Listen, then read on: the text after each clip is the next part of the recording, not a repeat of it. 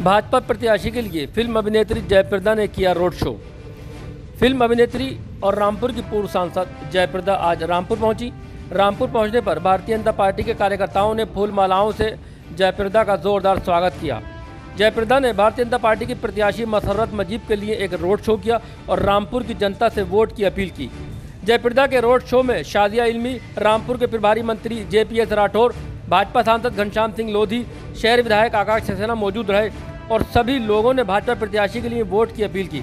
जयप्रदा का road show Bhajpa के कार्यालय से शुरू होकर कई मोहल्लों से होता हुआ गुजरा, जहाँ जहाँ से भी काफिला गुजर रहा था, लोग पुष्प वर्षा कर स्वागत कर रहे थे। उत्तर प्रदेश नगर निकाय चुनाव की तारीखें जैसे जैसे नज़दीक आ रही, प्रत्याशियों के दिल की धड़कन तेज होती जा रही है और प्रचार प्रसार भी अपनी चरम सीमा पर है। आज रामपुर में भाजपा के कद्दावर नेताओं का जमावड़ा था, क्योंकि आज प्रचार प्रसार का आखिरी दिन है।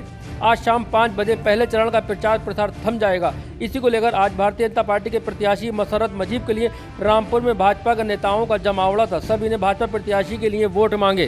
के प्रक्रिया में मैं रामपुर आई हूँ और हमारे बहन डॉक्टर मुसरत के लिए मैं वोट मांगने भारतीय जनता पार्टी के लिए और जनता से रामपुर के आवाम से मैं अपील करती हूँ कि आप सब भारतीय जनता पार्टी के लिए वोट दीजिएगा। आदम खान अभद्र भाषा का प्रयोग कर रहे हैं अपनी जनसभाओं में। उनके लिए क्या कहना चाहेंगे? देखिए आज़म बौखला गया है और आज़म को कोई सुधार नहीं सकते हैं क्योंकि आज़म हर बार हार रहा है हार रहा है। इसीलिए तो हार मानते हुए भी वो जीतने का वो उम्मीद करते हैं।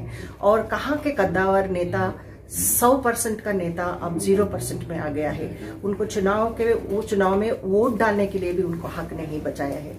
तो आज़म साहब को मैं एक ही अपील करती हूँ या मैं बताती हूँ कि बस आप बस करो, गालियाँ बंद करो और अपने सुधरने के लिए अपने दिमाग को ठीक करो।